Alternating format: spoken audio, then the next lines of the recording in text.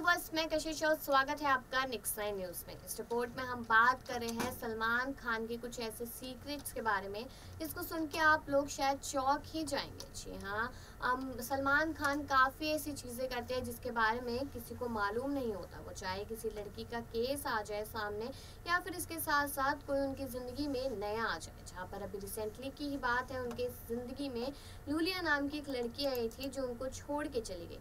उससे पहले काफ़ी ऐसे लोग आए थे जिनकी वजह से इनकी ज़िंदगी में काफ़ी ड्रामा हुआ। ऐश्वर्या से शुरुआत होकर उसके बाद ज़िंदगी में कैटरीना आई और बिना जाने कितनी लड़कियाँ आई थी।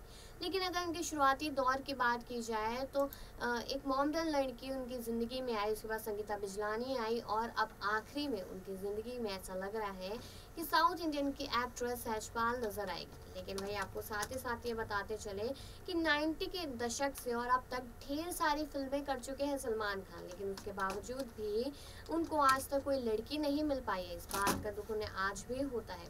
यहाँ तक कि आपने देखा ही होगा कि बिग बॉस के फिनाले पर जब शहनाज वहाँ पे पहुँची थी तो उन्होंने उनकी गर्लफ्रेंड और उनकी शादी को लेकर भी बात की थी।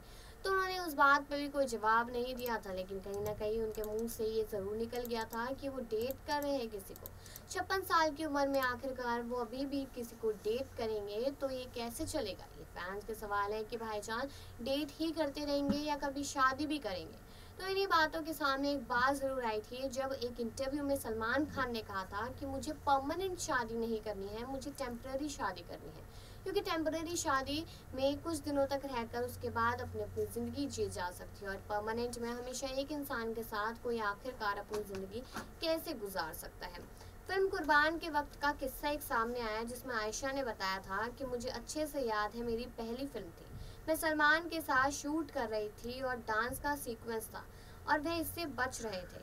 और साथ ही साथ उन्होंने किसी और की एंट्री उसमें करवा दी थी। मतलब सलमान खान इतने ज़्यादा शर्मीले हो गए थे उस टाइम पे कि वो किसी लड़की के साथ नाचना भी नहीं चाहते थे। तो ऐसे काफ़ी सारे किस्से सामने आए थे जिसमें उन्होंने ये भी कहा था कि जब किस करने वाली बात आई थी तो उन्होंने किसी और को ही सामने कर दिया था। वो तब भी साइड हो गए थे। तो ये जो सारे किस्से जो सामने आते हैं, उससे कभी कभी तो ऐसा लगता है कि शायद सलमान खान बहुत ज़्यादा शाय है। लेकिन जब सलमान खान के साथ किसी लड़की का नाम जुड़ता है तो लगता है कि शायद आने वाले टाइम में सलमान इसके साथ शादी करेंगे। लेकिन फिर वो लड़की छोड़ के चले जाते हैं। तो सारे जो किस्से हैं, सलमान जो अपनी लाइफ को लेकर कंफ्यूजन में है, उन सारी चीज़ों को लेकर आपका क्या कहना है, ये कमेंट सेक्शन में ज़रूर बताएँ। और बाकी खबरों के लिए देखते रहिए नेक्स्ट टाइम